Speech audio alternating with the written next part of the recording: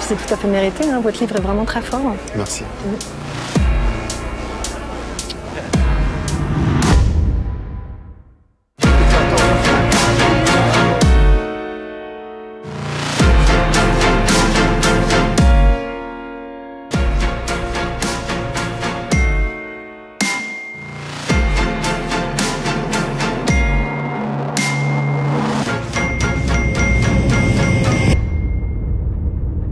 comprends pas. Karim D, c'est votre nom ou pas Oui, mais ces messages datent du moment où j'écrivais sous un pseudonyme.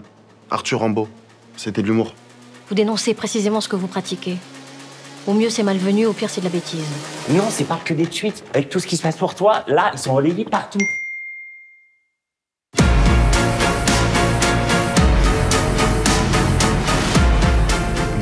L'impression que ma génération veut tout le temps être dans la course. Je vais pas finir dans le même bateau que toi. Ce personnage que j'ai créé quand j'avais 16 ans n'avait pas de limite. C'est pas moi qui t'ai appris à penser comme ça. À point ou encore caucasien de toujours, pendez-vous. Ces douceurs ont toutes été postées par Arthur Rambaud, alias Karim D, écrivain et blogueur bien connu, qui à travers ses deux livres et sa web TV avait su offrir un regard nouveau sur les banlieues.